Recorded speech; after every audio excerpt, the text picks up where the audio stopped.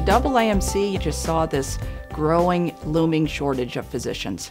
Uh, Georgia was no different, um, and although they had, you know, several medical schools, um, they really charged the entire United States to expand medical education at the student level.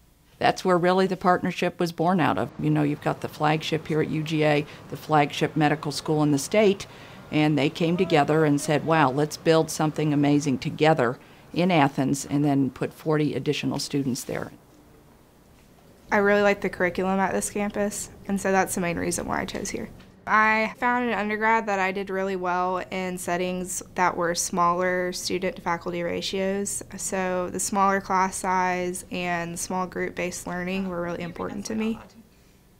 Each week has a weekly theme, so the week's cases for small group learning and the week's large group presentations, laboratories, lectures, and other things all connect to that weekly theme.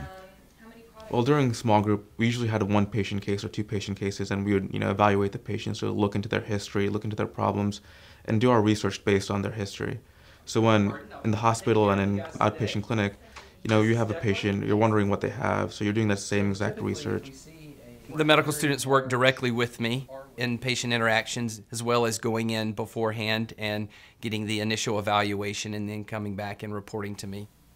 You're working with a resident and then you're attending. So you do get to learn a lot um, and you get a lot of feedback. So when you're giving presentations, your attending can tell you right there how you're doing.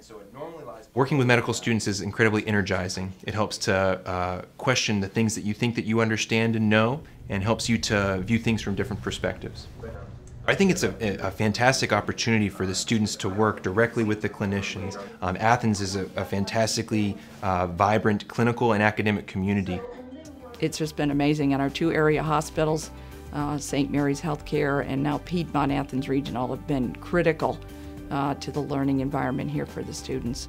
Overall, I think the medical partnership has really raised the level of medical care that's provided in our area. It has brought in lots of experts from around the country who trained at excellent institutions and can bring their expertise to the area and care for our patients.